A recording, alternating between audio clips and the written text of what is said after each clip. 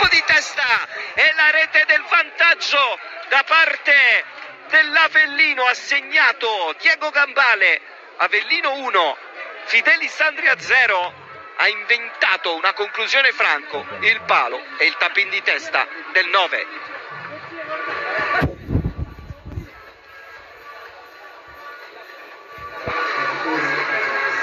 un